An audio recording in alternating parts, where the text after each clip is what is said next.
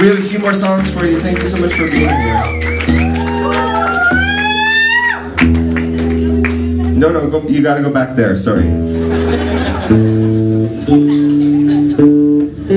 Uh,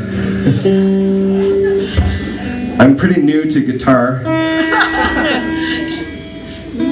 When I was a young, when I was a young boy, I was um, really focused on my future career as a rap star. I wanted to be a rapper so badly. I never even thought about playing the guitar. And I entered the rap talent competition at my high school and failed. The field was deep. The field was very deep. and I came last, last place. And, and as I've, I have not become a rap star, as you can see.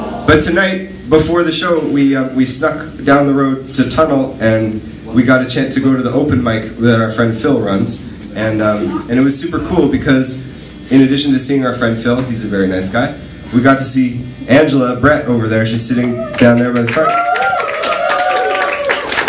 And we've known Angela for, for many years, and I had no idea what a great rapper she is. So, until tonight. So it was great to hear you, and the song is dedicated to you.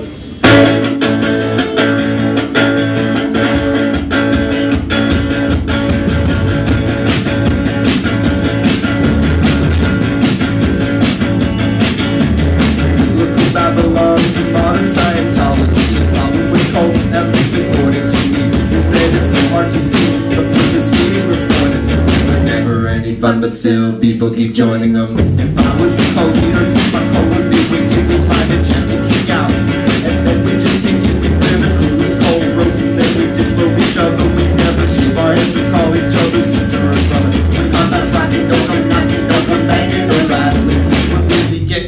or just casually rap battling, drinking cold. Please drink a little water, no rocks. And I'll drink it too. When it's time to kick off, because my body is mortal, but my rhymes are unkillable. Slicing the song with all its diphthongs and syllables. My mystic is eccentric. I got mad skills. It's not making me rich, but hey, it pays the bills. It's true cross my heart. This is a work of non-fiction. Don't fall apart when I whip out my diction. Cause I write all my songs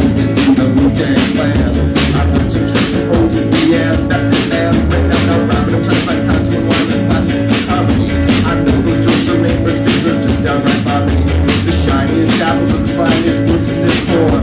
Don't bother to stop me if you've heard this one before. This song's just not. It's a real mean sucker. Inside one of us is a comedian, a cult leader, and an amateur rapper.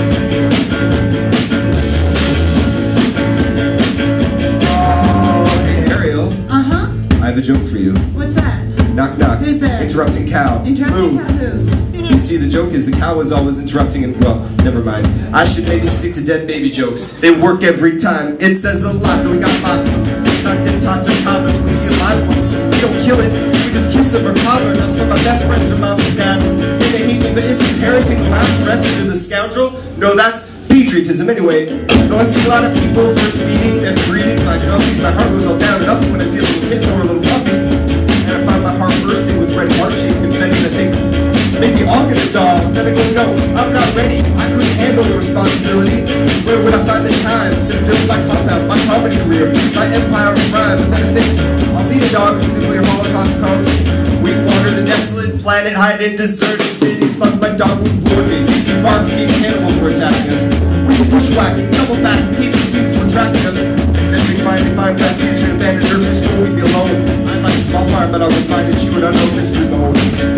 We wake up in the morning, starving, our lips blue and our ribs showing through. And I'd spy a pack of wild dog puppies and think of trapping just one or two.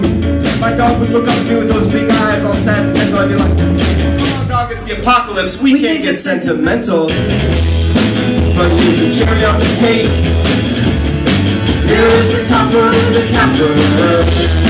Inside every one of our space beats the red heart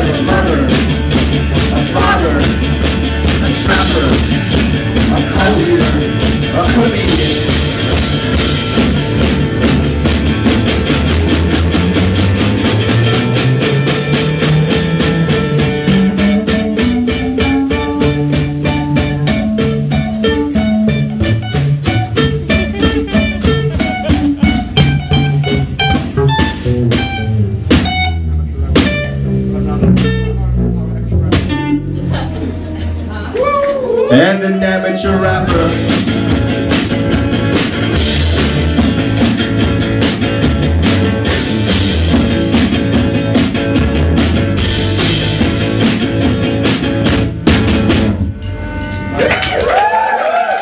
Dankeschön. Vielen.